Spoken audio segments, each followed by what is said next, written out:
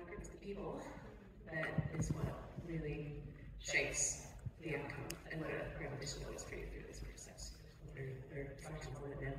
Yeah, I mean, so I'm a microbiologist and I've made my career out of understanding microbes. I'm like, I, I think it's come from a place of fascination. As you heard in the movie, you know, I picked up this book as a teenager, the Fireside Book of Deadly Diseases, and I was just kind of blown away how, you know, these like how do they do that? So I came at it from, I want to understand the microbes.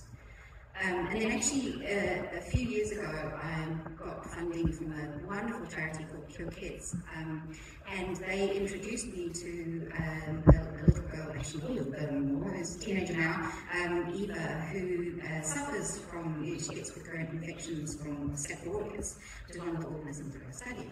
And so I got to meet her and her family, and I remember her mum saying to me one day, you know, I know this is going to sound crazy, but I can tell when Eva's going to get an infection because she smells different. And I was like, no, no, no, that's like, oh, you can smell bugs, absolutely. Staph aureus stinks, it's got very distinctive smell.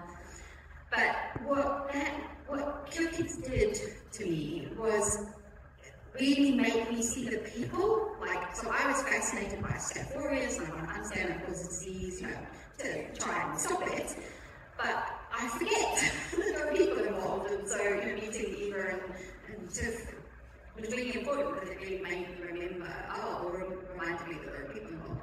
And so I think that the pandemic has just done that on this really large scale because what we have experienced around the world are really, really different outcomes. And I think that Bloomberg news really illustrates that, right? You can just look at this picture of excess deaths and see that it's one organism and then what happens around the world depends on socio-economic conditions, on geopolitical conditions, uh, you know, on trust in media, on trust in government.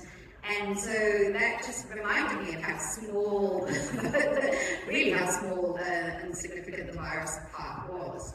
Um, and I think it also is a really good reminder that, you know, we've, for many, many countries for many years, we've had this like real cheerleading of science, and I've certainly been used as a cheerleader for science, and we more people to do science.